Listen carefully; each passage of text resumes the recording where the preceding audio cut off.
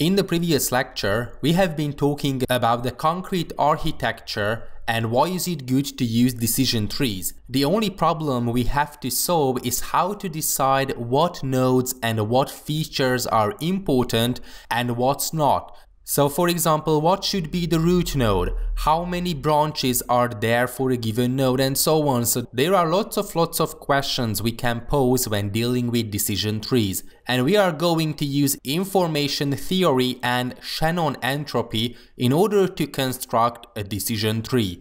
Oh, okay, so first of all, let's talk about the data set we have. We have four features in our data set, outlook, temperature, humidity, and wind.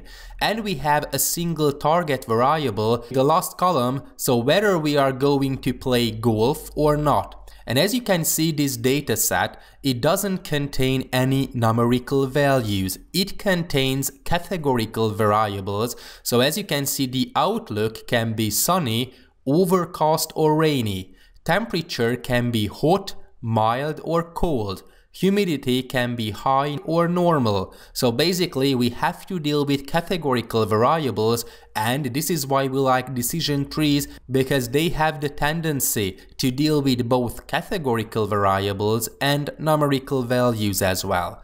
Okay, so we would like to end up with a tree-like structure like this. The root node is the outlook, and because there are three types as far as outlook is concerned, as you can see sunny, overcast and rainy, that's why the root node has three branches, sunny, overcast and rainy.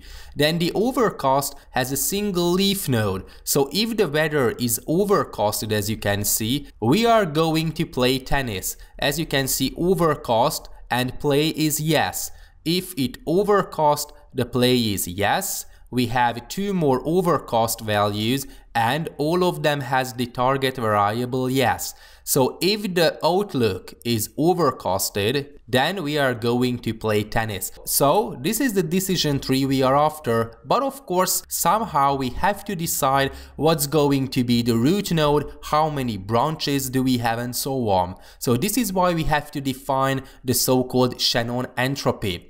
So this ID3 algorithm is used to build decision trees. It is a top-down greedy search of possible branches and it uses entropy and information gain in order to build the decision tree. So we can define this Ajax Shannon entropy of a discrete random variable x where x can have possible values x1, x2 up to xn and there's a probability mass function px, then we can define this Shannon entropy with the help of this formula. It is minus the sum from i equals to 1 up to n p x sub i times the logarithm of p x sub i. Okay, so we just have to deal with the probability, as you can see, as far as the given possible values of x are concerned. So there's a good example on Wikipedia, by the way. So if you navigate to Wikipedia and search for entropy as far as information theory is concerned, there is a good example for how to calculate Shannon entropy. So let's suppose a situation that we are considering heads or tails. In this case, heads and tails have equal probability 1 divided by 2 and that's why if we calculate Shannon entropy based on this definition, so minus the sum of px times the logarithm of px, we are going to end up something like this. i is equals to 1 up to 2 y2 because there are two outcomes heads or tails. So that's why we just have to deal with two actions and because heads and tails both have equal probability 1 divided by 2, we just have to calculate 1 divided by 2 times the logarithm of 1 divided by 2 and it's going to be 1. Okay, so as far as fair coins are concerned, the entropy is equals to 1. If we are dealing with not fair coins, the entropy is going to be smaller than 1. So if we have some p probability of heads and Q probability for tails, we just have to use the same formula as you can see. So the sum of px sub i times the logarithm of px sub i. As you can see here, we are dealing with probability p and probability q because they are not the same. So the probability of heads and tails are not the same. It is not equals to 1 divided by 2. It is p and q accordingly. So that's why the total entropy is going to be smaller than 1 one. So this is how we are dealing with entropy. Basically, if you want to understand decision trees, you don't have to know everything about Shannon entropy, but it's good to talk a bit about it because this is exactly what's happening in the background. Okay, so for completely homogeneous dataset, the entropy is zero, and if the dataset is equally divided, so there are the same amount of true values and false values, then the entropy is 1.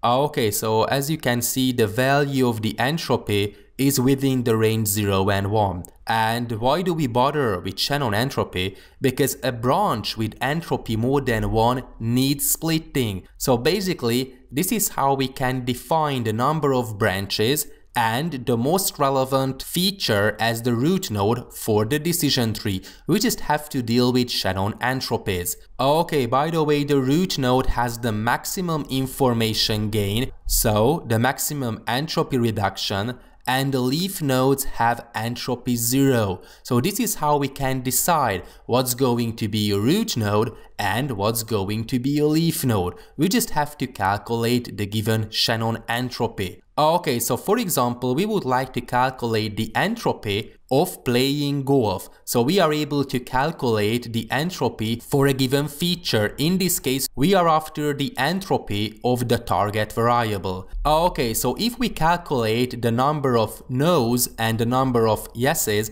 we can come to the conclusion that we are playing golf 9 times. So there are 9 yes in this column and 5 no's in this column. So 9 times we play golf and 5 times we do not play golf. If we want to calculate Shannon entropy, we just have to use the formula we have discussed in the previous slide. So we just have to calculate the probability of xy multiplied by the logarithm of the probability of x sub i and we just have to sum them up.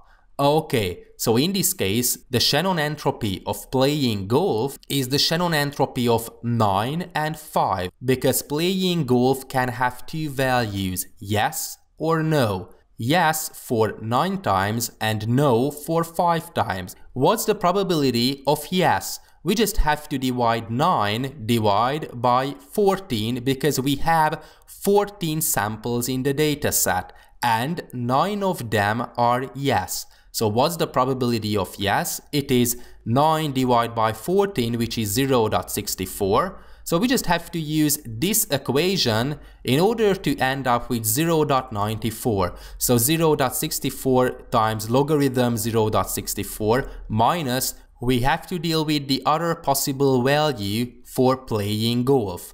Okay, in the data set we have 5 no values, 5 divided by 14 why 14? Because we have 14 items altogether, so basically it is the probability of no 0.36 times the logarithm of 0.36 and it is equals to 0.94. So this is how we are able to calculate the Shannon entropy of a given feature and basically it is the most important step as far as calculating the importance of a given feature. So this is what we are going to talk about in the next lecture.